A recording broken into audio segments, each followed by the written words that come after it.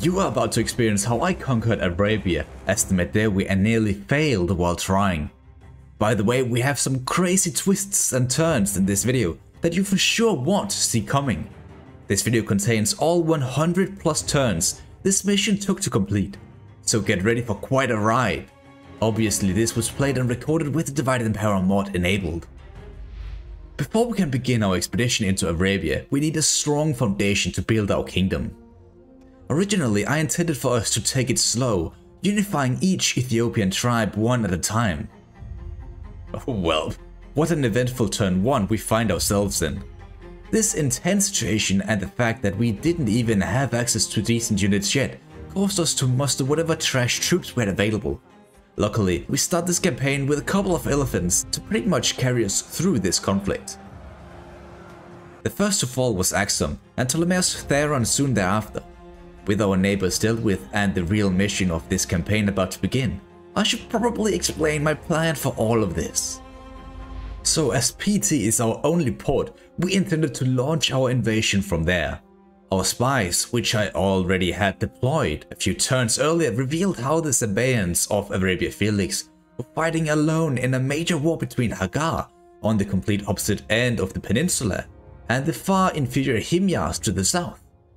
Seeing this as an easy way to get an ally on the other side of the Red Sea, we declared war upon the slave traders, whose lands are so close to ours. Besides, this is a rare resource we could get access to and also a port, which would make travel from our homeland to Arabia way easier. So that was it then. We could also have gone for Nabatea, but their larger size scared me, especially with their close relations with the Egyptians, whom we definitely don't want to engage. After securing most of the south, the plan was to, well, take out the rest of the tribes one by one till it only was Saba left, I guess? Honestly, I don't know. I didn't really get that far in my strategy. Something I completely forgot to take into consideration was logistics and supply lines. Oh, how stupid I was! The voyage alone from PT to the Arabian coastline took two turns. And if you didn't know, DI is so merciless that armies traveling across the sea suffer massive amounts of attrition. By the time our army arrived, we had already lost one third of our army. This was then followed up by the Lost Their Way event, which caused our army to basically be a sitting target. And did we then retreat after this? No, of course not. Instead our army foolishly continued into the desert, where the Himyar forces waited for us. Our men didn't stand a chance as they were butchered by the Arabian general Samar. At least none of them got to experience the extreme summer. Fuck me, that screwed me over throughout this mission. There was nothing else to do but recruit a completely new army. We did still have some of our elephants as I didn't bring them all across the first time around, only some random mercenary ones. We did also get a few better equipped warriors to hopefully turn shit in our favor. Learning from the last voyage, I did also construct a few supply ships so the sea wouldn't obliterate us again. The Sabaeans did also have to complicate things by swapping settlements with the Himyar, forcing us to trespass on our intended future friends, which made them absolutely hate us. The only real reason this settlement swap was a problem is that this new settlement we had to take as our foothold in Arabia was so damn far inland.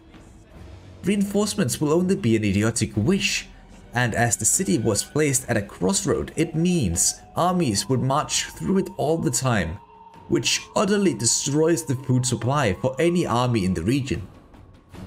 Well, only for us as the AI always cheats in that regard.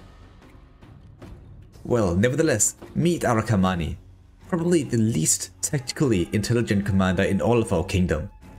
Or at least he was the man who cared the least for all of his troops.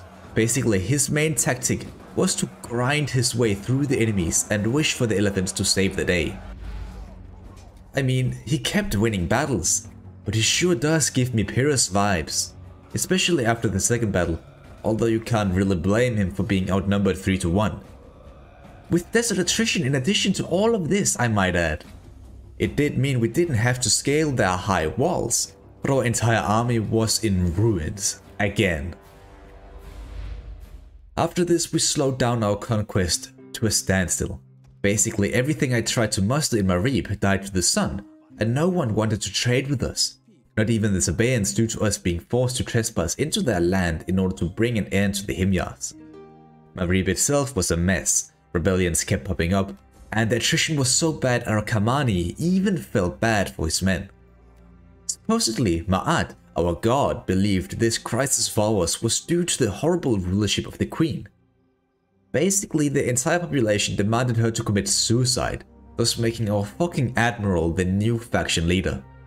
The final nail in the coffin was the fact that we were running low on funds. Dangerously low. So as we couldn't launch another war from Marib, we had to take a new approach. One that I didn't want to make.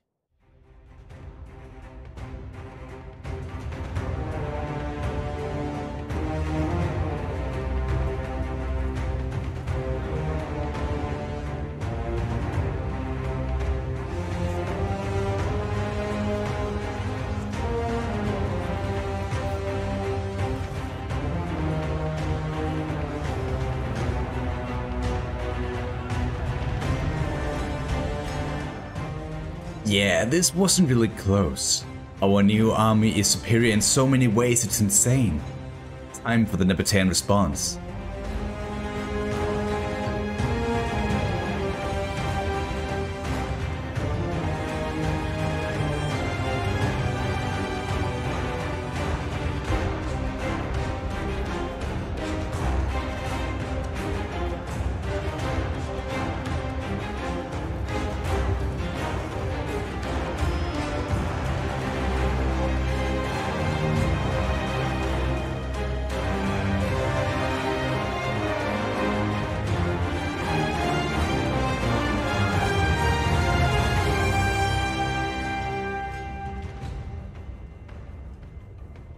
Our luck had to slip up sooner or later. The other Arabian tribes figured out our intentions with our many attacks and decided to put fate into their own hands. It didn't take long for all of Arabia to declare war on us. And we can't forget the worst of them all, right to the north of our unguarded homeland, Egypt. The Ma'ines cleverly split up their two armies. One was sent to occupy our forces in Nabatea, while the others stealthily snuck past our patrols to reach Marib. This basically locked down our gold surplus, meaning we had to be swift in order to avoid bankruptcy. We sent our larger army into the desert in an act of revenge, while a second army, which I quickly had mustered, besieged Petra.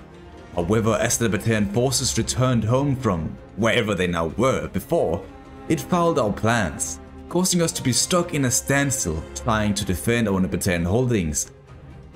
A lot of back and forth happened during this time, with Yathrib in the desert falling to our enemies multiple times. But due to our war with Egypt, we were able to secure quite a sweet deal with the Seleucids. But speaking of Egypt, you are about to experience the incredible journey of Indibilis, the madman who became famous for killing a crocodile with his bare hands. Ever since the declaration of war from Egypt, he had spent some time preparing a board patrol regiment. The only thing is, he has had enough of sitting around waiting for the Egyptians to potentially overwhelm our towns. So this mad lad went up towards Upper Egypt where he would usurp the Hellenic garrisons, thus freeing the locals and arming them to help overthrow the Ptolemaic dynasty.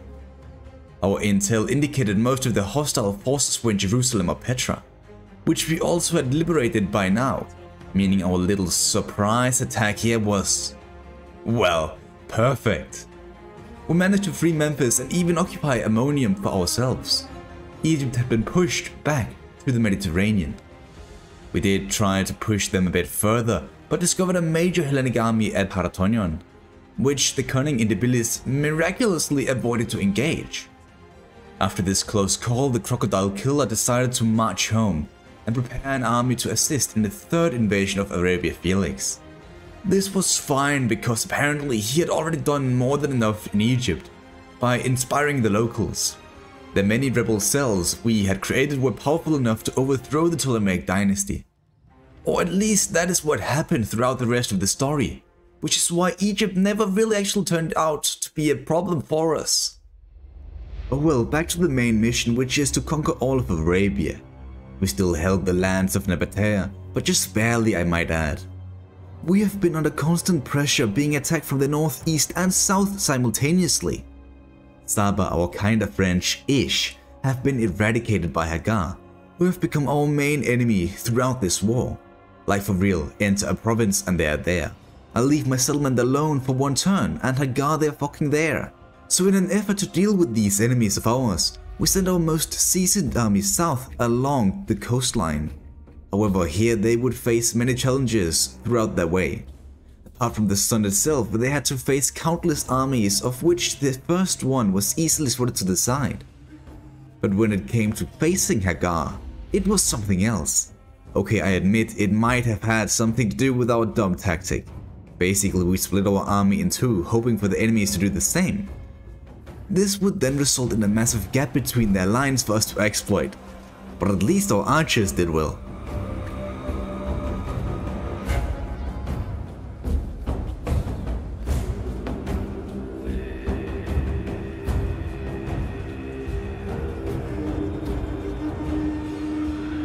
With yet another equally powerful army demolished and Eudaemon in our hands, it was time for Indibilis to sail for Arabia.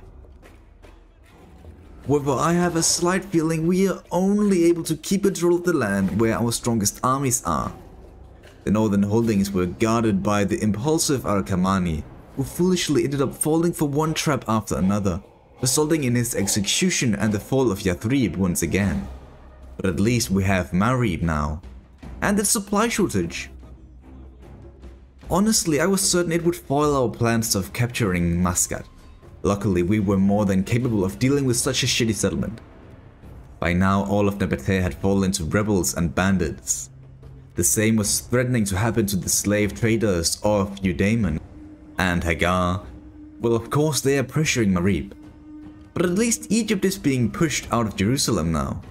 We deal with the threats but are forced to recruit auxiliaries as our manpower is running low.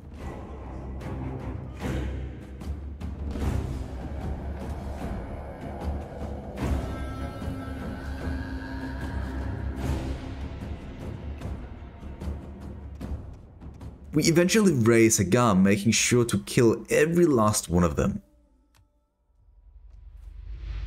All that was left now are the settlements we once held in Nabatea. But first we had to march our armies through the devastating desert, where we had to face off against Kinda and the forces of Yathrib in a battle of the ages. We didn't have any more elephants to save the day. This was all about the tactics and skills of our commander Indibilis, the crocodile killer. Many here have fought before in defense of our people. Fought for the honor of our gods and our ancestors. Some, well, some of you just like to fight. This day is no different. We can vanquish this pack of mange-ridden dogs. Who's with me?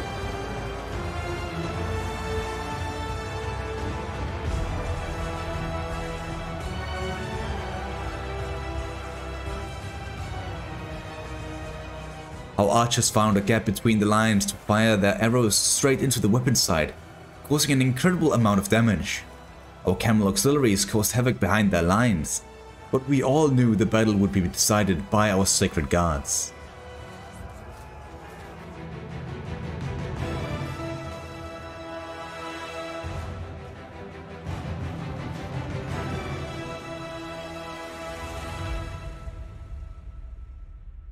With this decisive victory in the desert, all that was left to conquer could be found in Nabatea. But as our enemies made a failed crossing over to our lands by the courtesy of our admiral faction leader, it meant Chamuthas was recaptured without much of a fight. Peace finally fell upon Arabia after over 100 turns of turmoil. We now occupy all of southern Arabia with our liberated allies safeguarding the north. It is over. Nah bitch, this is called Total War for a reason.